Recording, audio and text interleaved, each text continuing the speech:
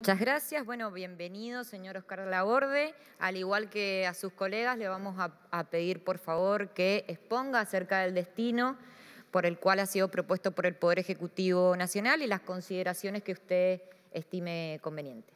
Muchas gracias y bienvenido. Bueno, muchas gracias. Buenos, días a las senadoras, senadores, a todos los presentes.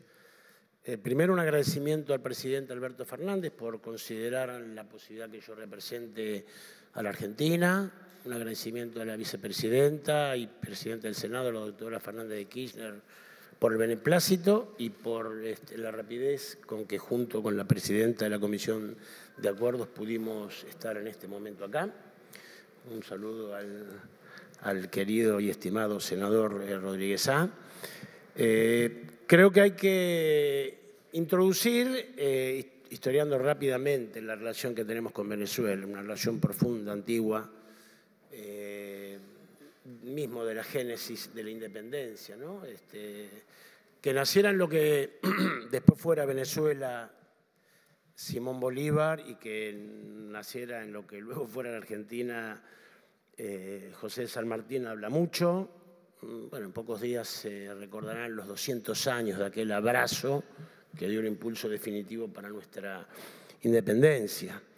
Eh, también eh, la acción de, la doctrina Drago, que tuvo que ver justamente la preservación y la defensa de los países que están endeudados, no poder invadir a los países que tienen deuda y cobrar esa deuda con la invasión bueno, lamentablemente no todos los integrantes de, nuestro continente estuvieron de acuerdo, pero eso también compromete a un funcionario, un canciller de la Argentina, en esta, en esta idea de defensa. Claro, recordar la, la, permanente reivindicación y solidaridad que tuvo Venezuela, su pueblo y sus gobiernos para con la causa de Malvinas, siempre nos deben comprometer y posteriormente esa relación se este, incentivó cuando Venezuela ingresa al Mercosur, generando un momento, una, etapa muy virtuosa para la región, donde se participa activamente en la creación de la UNASUR y luego la CELAC, el momento más virtuoso en datos, este, en sentimiento que tuvo, que tuvo la región. Claro, luego hubo intentos de, desintegrar esa integración, de desmantelarla, de hacerla retroceder, de congelarla. Se separó a Venezuela del Mercosur, se, retiró la Argentina de la UNASUR, se congeló la CELAC, es decir, se entró en un momento de distanciamiento natural eh, y aquel momento que se había logrado mm, se fue dispersando. Evidentemente hubo una crisis política, económica, social en Venezuela. Es clave que nosotros busquemos las multicausas que generaron esta situación. Y el gobierno actual argentino pretende y pretendió y actuó en consecuencia poder accionar sobre eso. Con una accionar que en mi opinión hay una coherencia sobre todo con la intervención externa, la no injerencia y el esfuerzo del diálogo, y que el problema de los venezolanos lo arreglen los venezolanos. Una cosa parece sencilla, pero muy profunda. Y en eso se trabajó, y originalmente el gobierno argentino no se retiró del Grupo de Lima para no tener prejuicios, luego sí lo hizo, cuando se daba la realidad de que efectivamente ese grupo tenía pocos logros, pocas conquistas en, en mejorar la situación. Se incorporó al Grupo Internacional de Contacto, un, grupo con la Unión Europea, con Alemania, con diferentes países latinoamericanos que sí buscaban el diálogo con la condición de que fuera el diálogo y no la intervención externa la que pudiera avanzar con los temas. Se acompañó el informe Bachelet, el informe Bachelet fue acompañado de las Naciones Unidas y se acompañó la evolución del informe Bachelet porque el informe Bachelet tuvo dos momentos, de hecho tiene una oficina instalada en Caracas con 12 miembros que va produciendo informe constante y hay dos momentos donde se muestra justamente este, la evolución de las preocupaciones que tenía la alta comisionada y que fueron acompañados eh, por Argentina. Se respaldó el, proceso electoral, un proceso electoral eh, con falencias. Bueno, a mí me tocó ser jefe de misión de, del Parlasur en la última elección, en la de noviembre. Este, ahí hubo misiones de la Unión Europea, de las Naciones Unidas, del Centro Carter y del Parlasur. Y en todos concluimos, con más, con menos, que efectivamente había habido una evolución en el proceso democrático que faltaba, y esto lo pudimos corroborar en las conversaciones que tuvimos con todos los actores. Lo personal estuve reunido con cada uno de los actores, con Enrique Capriles, con Juan Guaidó, con el presidente de la Asamblea, y este, sobre todo la modificación que hubo en aquel proceso electoral del Consejo Nacional Electoral. ¿no? Así que mm, parece natural que luego de, de ese esfuerzo que se hizo, que yo relaté en cuatro o cinco pasos, se piense ahora elevar la representación, teniendo un embajador en Caracas de Argentina y en Buenos Aires de Venezuela. Eh, está claro que se han disipado algunos temas, así lo expresó el presidente, está claro que quedan temas pendientes.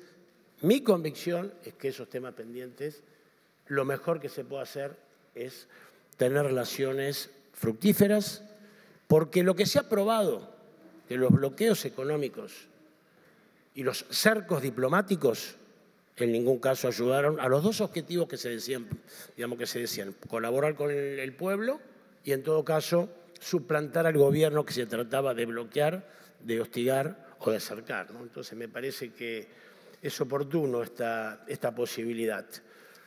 Eh, creo que los objetivos que me ha propuesto el gobierno es eh, colaborar con los avances que se estén dando en la búsqueda plena de los derechos humanos, en avanzar en las situaciones de, que puedan faltar de una democracia completa, que sí, insisto, demuestre una tendencia a la positiva. Eh, lo segundo es lo comercial.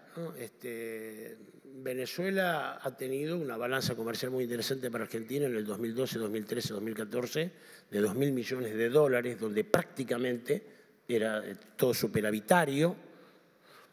Tal vez el objetivo en esta etapa sea intentar lograr aquella meta y diversificar, si no deberíamos nosotros repetir con los países este, americanos la misma matriz de exportar commodities, de exportar soja, sino de productos elaborados. Eh, me parece que el tema de ayudar con la formación de funcionarios y de este, empresarios que quieran hacer prosperar la agroindustria, que es lo que en este momento está teniendo, este, colaborando con la recuperación económica. ¿no? Digamos, eh, en Venezuela hay mucho por hacerse en el sentido agropecuario porque de 3 millones de hectáreas cultivables que llegaron a tener en su momento, ahora tienen 150 mil. Entonces hay una cantidad grande de, este, de argentinos que bueno, ven toda esa extensión y desean involucrarse. Creo que ahí con la ayuda del INTI, del INTA y del INVAP, que, está, este, que han trabajado, que se ha interrumpido, que creo que hay que retomarla. Creo que en lo comercial hay que arreglar algunas situaciones de deuda graves, en ríos que se han constituido, eso lentamente me da la impresión que la tarea del embajador será colaborando con eso. Creo que hay que recomponer los vuelos directos que teníamos. Me parece que eso es una, falencia no tenerlo, se incentivará el turismo. Y, una cifra, ¿no? Con el tema de, la posibilidad del desarrollo agropecuario, me comentaban productores de maquinarias agrícolas que se podrían explotar 1.500 millones de dólares solamente en maquinarias por la necesidad que tendrá Venezuela en este objetivo que se propone de autoabastecimiento alimentario. Por último, bueno, lo cultural, naturalmente siempre es bueno hacer conocer lo nuestro, hay, un cariño, un respeto, un recuerdo, una, empatía este, con Argentina. El tema migrante habrá que ayudar a que se colabore. Bueno, este, Venezuela sigue siendo integrante del Mercosur a pesar de estar suspendida, con lo cual lo que se actúa en la Argentina es colaborar, bueno, con lo difícil que significa tener unos centenares miles de emigrados venezolanos, también allá facilitar los papeles.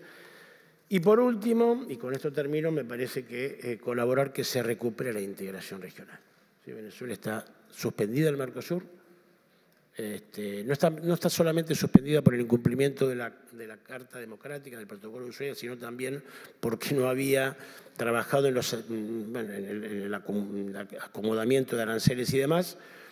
Pero yo creo que el regreso de Venezuela al Mercosur corresponde, creo que reflotarlo a UNASUR o como se llame, porque posiblemente no será igual, aparentemente hay algunas propuestas de modificación, y sí lo de la CELAC, ¿no? Así que me parece que esas son las tareas, son muchas, grandes, y la convicción de que en Latinoamérica, sobre todo en Sudamérica, nuestro destino es transitar junto a la patria grande, es la unidad, es trabajar en este mundo tan complejo que tiende a regionalizarse, hacer de nuestra región un polo en un mundo multipolar.